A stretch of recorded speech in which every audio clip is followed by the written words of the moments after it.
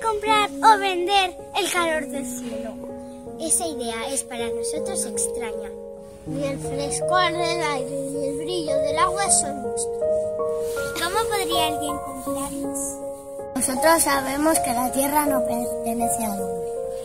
Es el hombre quien pertenece a la tierra.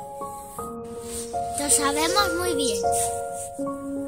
Todo está unido entre sí como en la sangre Lo que hace con ese tejido lo hace para sí mismo.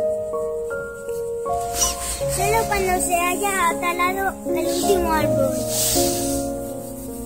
Solo cuando se haya envenenado el último río. Solo cuando se haya pescado el último pez. Solo entonces